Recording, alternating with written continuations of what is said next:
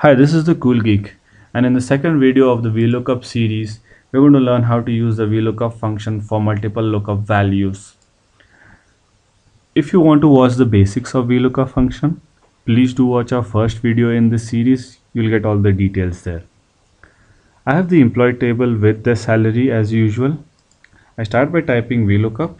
This time my first lookup value is going to be Bob, comma my table array is on the left hand side column index is going to be 2 since salary is present in the second column of the table. Comma exact match since we want to match this name in the table. Once I have done that I can now select the handle that is at the bottom of the cell and copy the cells for Cassandra and Janet. You'll observe that you'll get an error for Janet and I'll explain that error in a moment. So if you see Bob's formula, that is Bob is present in D6 and the table range is A5 to B10.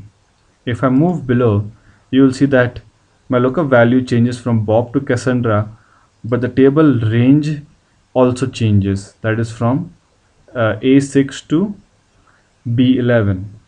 Now when I move one more step down, you will see that my lookup value changes from Cassandra to Janet and the table changes from A7 to B12.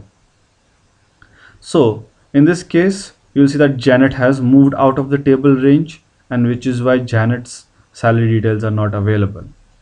To fix this issue you need to simply go to the cell and ensure that this top table remains constant over the three cells here.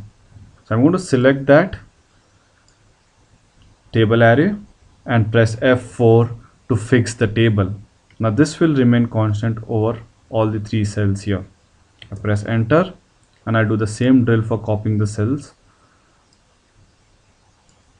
That's it. So once you copy the cells below, you will see that the table remains constant in all three cells, but only the lookup values keeps changing from Bob to Cassandra to Janet. And this is how you get the salary details for all three of them at one time